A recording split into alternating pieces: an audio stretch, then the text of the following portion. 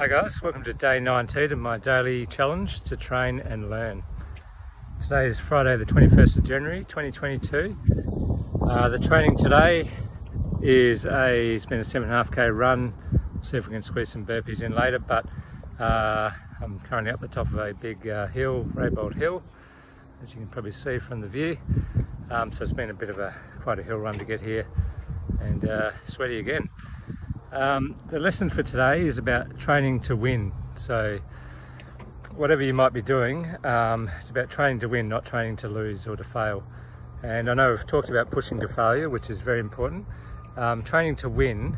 So, uh, when I was instructing in the tactical response, group, whether it was uh, new recruits teaching them from scratch or or even um, experienced operators, we always set up training when we knew better to to win scenarios basically to have more wins than losses. So we still wanted we still wanted to push to failure and have losses and learn from them and uh, step back and do it right. But it was important to have more wins than losses um, because when you're going into that real firefight or the the real job and things are going wrong, you've got you've always got that mindset that yep, no problem, whatever the scenario is, we're going to win this. It's not.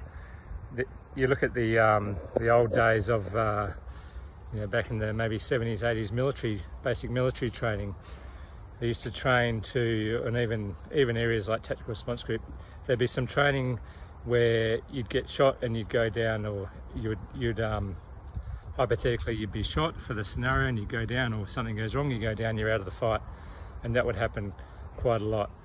Um, and what they found in some of the earlier wars was that, particularly in areas like uh, Africa and things like that, was that uh, there was research done on American soldiers and other and other Western civilization soldiers were getting hit, uh, getting shot once, maybe twice, and they were going down and they were out of the fight.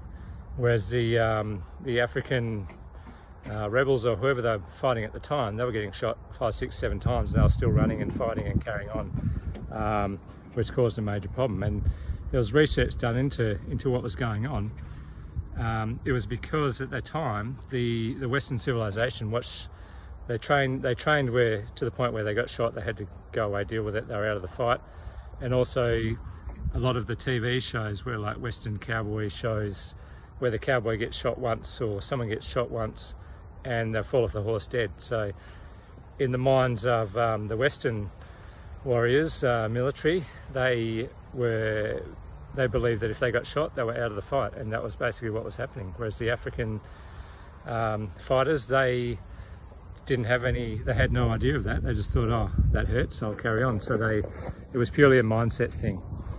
Um, so yeah, put that back into perspective with the tactical response group training. So we would set up scenarios uh, on training days where, you know, fairly basic and building up to more advanced, but you're, you're going to win the first few scenarios there's a point where you're going to lose a scenario. You're going to, you know, things aren't going to go perfectly, um, and then you're going to have we have debriefs every time.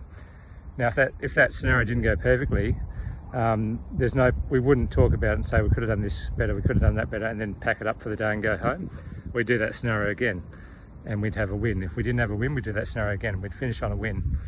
Um, you look at you know great footballers and things like that. Anyone practicing kicking a goal, they're not going to kick 100 goals and finish on a uh, kick to point or miss, miss the goal. They're not going to pack up, grab their balls and go home. They're going to keep kicking until they have a few in a row of goals and then off they go. So finish on a win, train to win, push to failure and then finish on a win.